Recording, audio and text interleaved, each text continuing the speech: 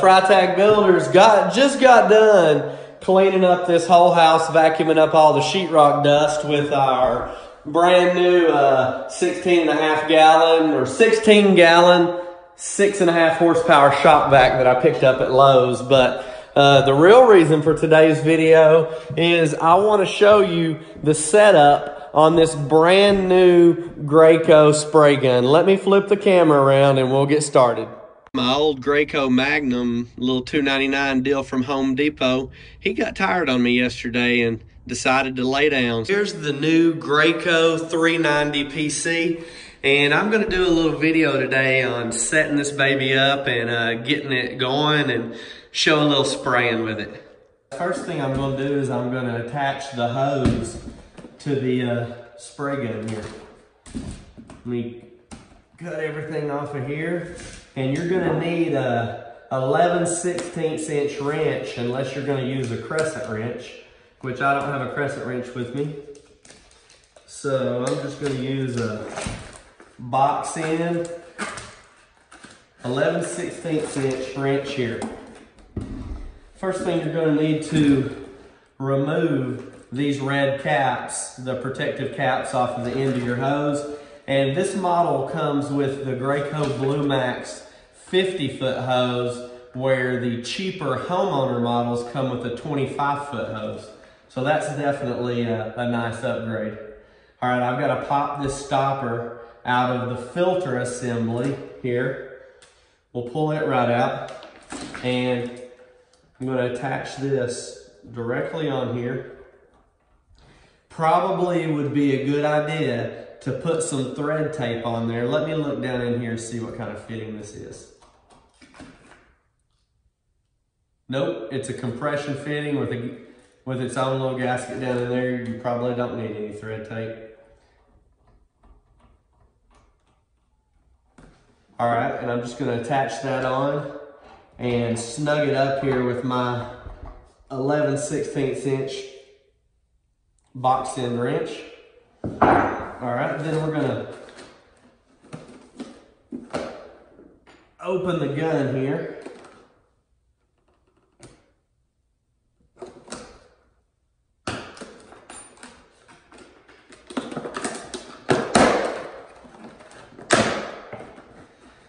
It also comes with this uh, throat seal liquid. This is going to be applied directly in the end here.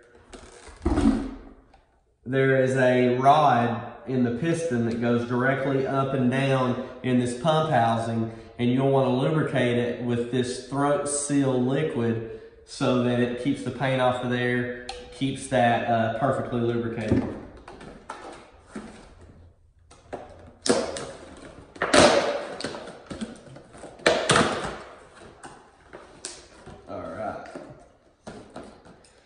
So here it is. It comes with a little uh, brush right here. I'm gonna I'm gonna trim this off of here with my with my trusty old razor blade.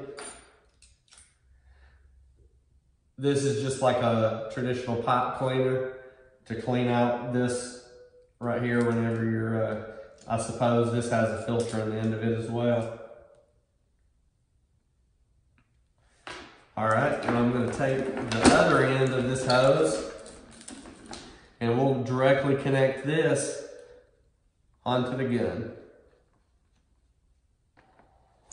Okay guys, this is gonna swivel right here, so you're not just gonna be able to use your 11 16th inch here, but you'll have to have a 3 quarter inch as well to hold this swivel fitting as you use your 11 16ths to tighten the hose on. Okay, there she goes, snugged up.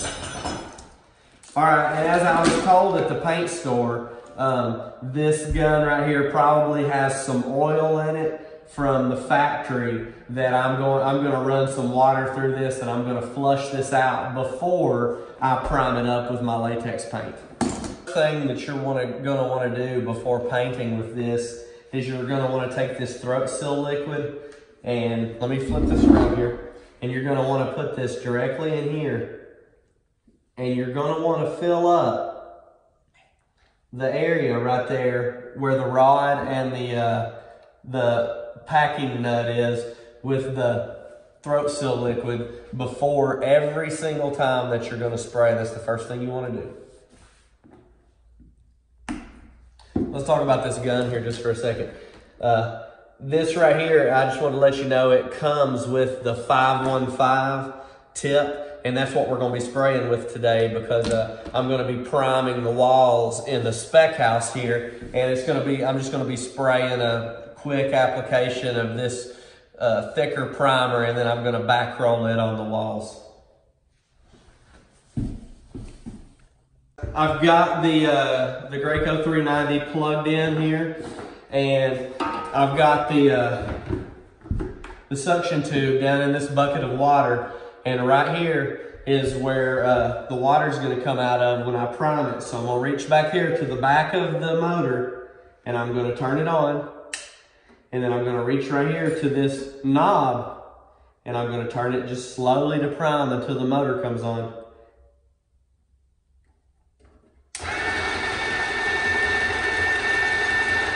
And there I'm gonna flush some water through this and get all of that uh, oil from the factory out of it.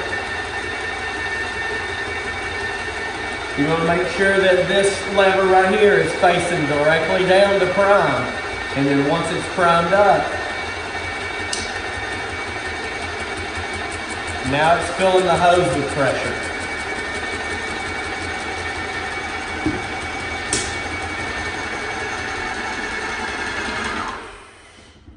Okay, so now the machine is, uh, it's on its lowest prime slow setting and it is uh, filled up the, the hose right here. I need to straighten this hose out, but it's ready. I'm gonna spray a little bit on the side of this bucket right here just to get all the air out of the lines. All right, now I'm holding the trigger.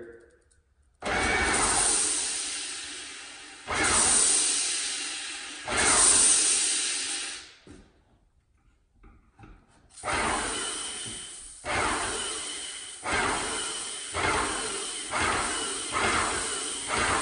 gonna let this cycle through a little bit, and I actually spun the tip around backwards so it would make less of a mess.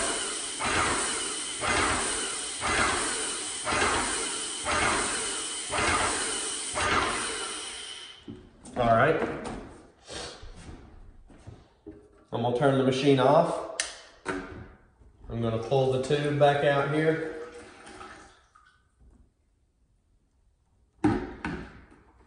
And next we will uh, insert the siphon tube down into our primer. Now we've got the siphon tube down in the actual primer. I'm going to turn this button down again. Turn the pump back on. Make sure your knob's on the lowest setting. We'll crank it up just a little bit.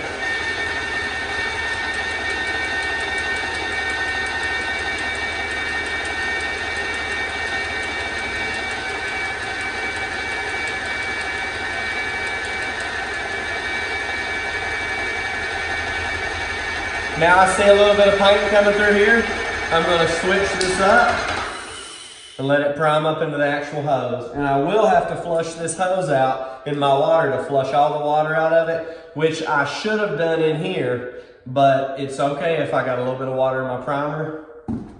I'll just take my, uh, my new mixing paddle here and mix it up.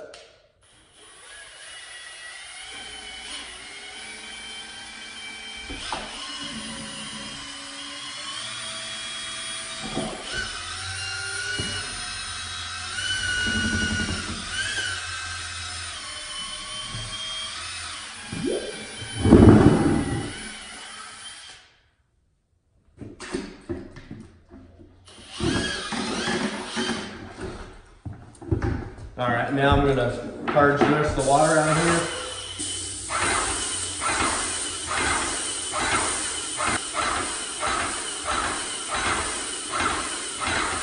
Gonna take just a second to get it out of this hose.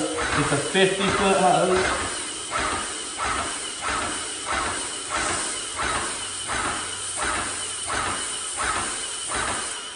All right, there we go. We got our paint coming out. You're gonna be able to spin the tip back around.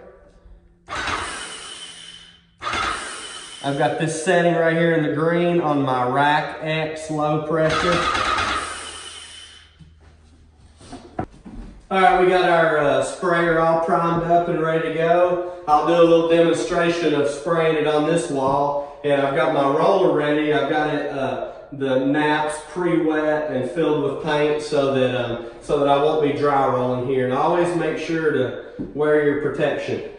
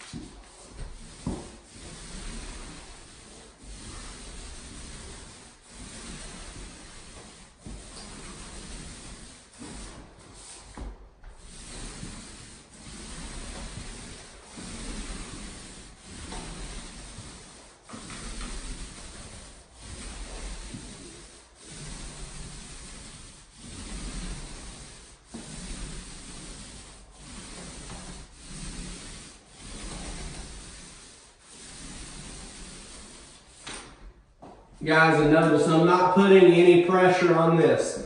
I'm letting the roller do the work. I'm just letting it roll up the wall and just letting the gravity pull it back down. You don't want you the more pressure you put on it, you're gonna get you're gonna get thicker lines in there. I'm just doing this to create a texture on the wall so that it is easier to touch up and blend in and it hides the sheetrock seams much easier.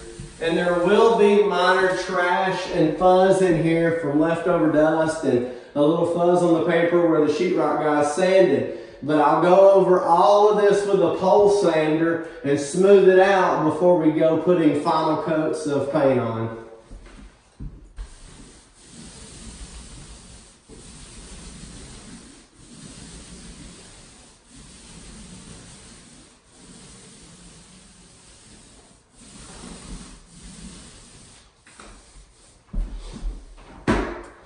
All right, guys, thanks for watching this episode of Freytag Builders and watching me set up the new Graco 390 PC and showing you exactly how I roll out this wall. Uh, stay tuned for more videos and subscribe to my YouTube channel at Wicked Wild Films. There'll be a link in my Facebook post and you can check me out at uh, Matt Freytag Construction and my personal Facebook is under my name, Matt Freytag. Thank you.